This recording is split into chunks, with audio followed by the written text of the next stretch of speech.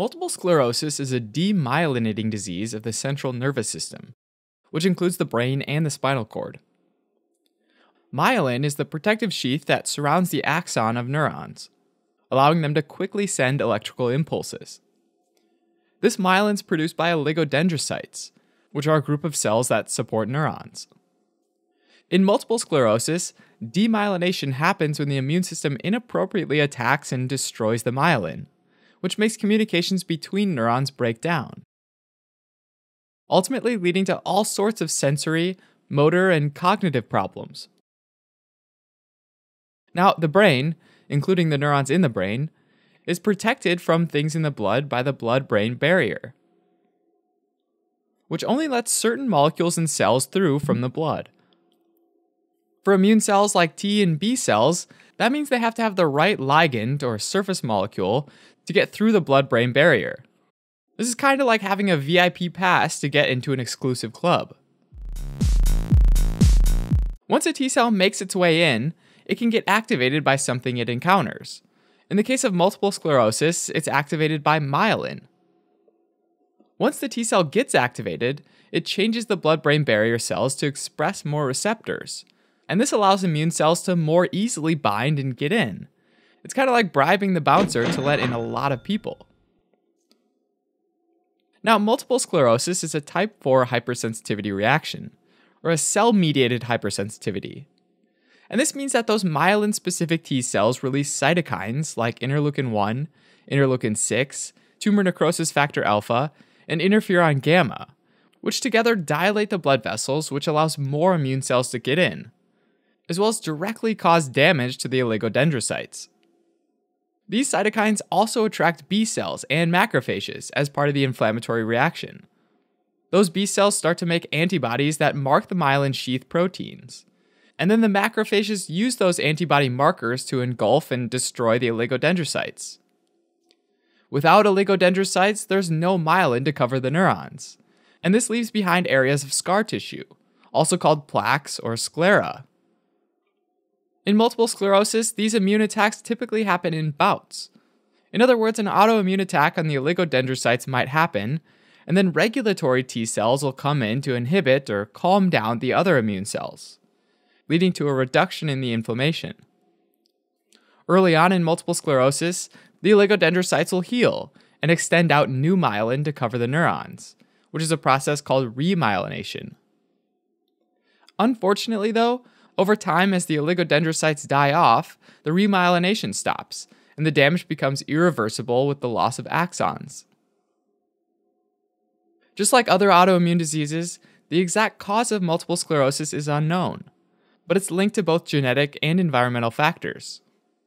Genetic risk factors include being female and having genes that encode a specific type of immune molecule called HLA-DR2, which is used to identify and bind to foreign molecules. Environmental risk factors might include infections as well as vitamin D deficiency, which is an interesting one because it might help explain why the rates of multiple sclerosis are higher at the northern and southern poles compared to the equator, where there's a lot more sunlight. Together, these genetic and environmental influences might lead to the body not killing off immune cells that target myelin. So, it turns out that there are actually four main types of multiple sclerosis, based on the pattern of symptoms over time. To break this down, we can use a graph with time on the x axis, where time refers to the lifespan of the individual, and disability on the y axis.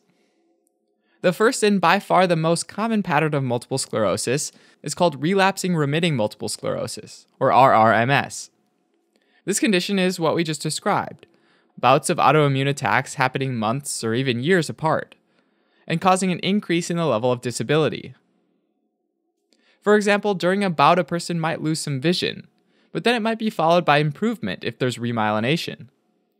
Unfortunately, though, more often than not, the remyelination process isn't complete, so there's often some residual disability that remains. And that means that with each attack, more and more the central nervous system gets irreversibly damaged. In the relapsing remitting multiple sclerosis type, there's typically no increase in disability between bouts, so the line stays flat during that time.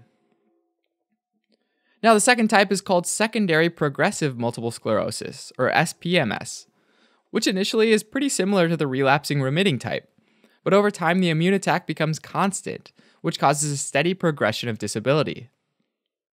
The third type is primary progressive multiple sclerosis, or PPMS, which is basically one constant attack on myelin, which causes a steady progression of disability over a person's lifetime.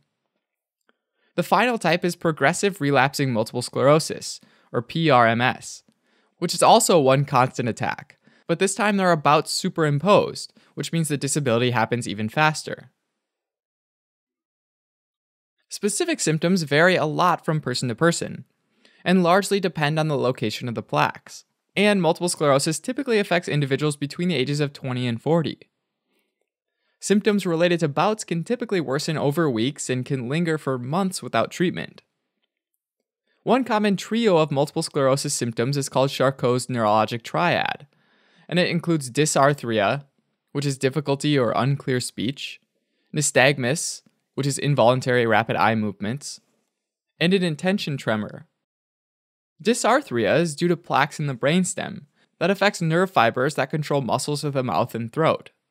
And this can interfere with conscious movements like eating and talking, and could lead to things like a new stutter, as well as unconscious movements like swallowing.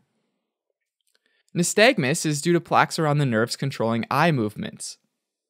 Plaques around the optic nerve causes loss of vision in one or both of the eyes because of damage to the optic nerve, which is called optic neuritis. Sometimes there's blurring or graying of the vision, or alternatively, there might be a dark point in the center of vision. Additionally, if there's damage to the nerves controlling eye movement, then eye movements can be painful and there can even be double vision if the eyes no longer move in a coordinated way. Finally, intention tremors can be caused by plaques along the motor pathways in the spinal cord, which can affect outbound signals like skeletal muscle control. Motor symptoms can include muscle weakness, muscle spasms, tremors, and ataxia, which is a loss of balance and coordination. In serious cases, this can lead to paralysis.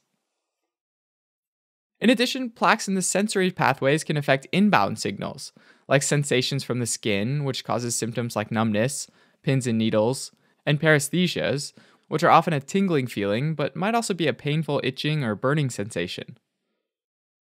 Occasionally, there can be very specific sensory symptoms, like Lhermitte sign, which is when an electric shock runs down the back and radiates to the limbs when a person bends their neck forward. Plaques can also involve the autonomic nervous system, which can lead to bowel and bladder symptoms like constipation and urinary incontinence, as well as sexual symptoms like sexual dysfunction.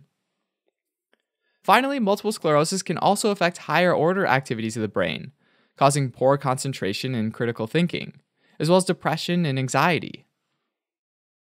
Multiple sclerosis is typically suspected when there are multiple neurologic symptoms separated in space, which is attributable to damage in different locations in the nervous system, as well as time, meaning separate bouts or flare ups, as well as remission. The diagnosis of multiple sclerosis is supported by an MRI that shows multiple central nervous system lesions called white matter plaques, since these regions tend to have a lot of myelin. Also, in the cerebrospinal fluid, there might be high levels of antibodies, which indicates an autoimmune process. Finally, a visual evoked potential can be helpful as well, which measures the nervous system's response to visual stimuli. For treatment, there's no cure for multiple sclerosis, but there are medications which are particularly effective for the relapsing remitting type because they lessen the severity of relapses and make them happen less frequently. Medications like corticosteroids, cyclophosphamide, which is a cell cycle inhibitor, and intravenous immunoglobulin can all be used to help blunt the autoimmune process. In addition, plasmapheresis can be effective as well, which is when the plasma is filtered to remove disease causing autoantibodies. Chronic treatment for multiple sclerosis includes immunosuppressants like recombinant beta interferon, which decreases the level of inflammatory cytokines in the brain, as well as increases the function of T regulatory cells. Other immunosuppressants actually block T cells from getting into the brain by interfering with the cell surface molecules they use to gain passage through the blood brain barrier. Unfortunately, though, there are fewer treatment options available for progressive multiple sclerosis. Instead, treatments are often targeted at managing specific symptoms, everything ranging from depression to bladder dysfunction. Physical therapy and cognitive rehabilitation therapy can be particularly helpful with sensory, motor, and cognitive symptoms. Finally, there's also an increasing interest in the role of vitamin D as an effective treatment. All right, as a quick recap multiple sclerosis is a chronic and progressive autoimmune disorder, and the most common pattern is the relapsing remitting type, where individuals have flares that come and go, with each one slightly worsening their overall condition. During a flare, T cells cause inflammation and damage to oligodendrocytes in the central nervous system, which leaves behind scarred areas of demyelinated neurons called plaques, which causes a variety of symptoms depending on the location. Thanks for watching. You can help support us by donating on Patreon, subscribing to our channel, or telling your friends about us on social media.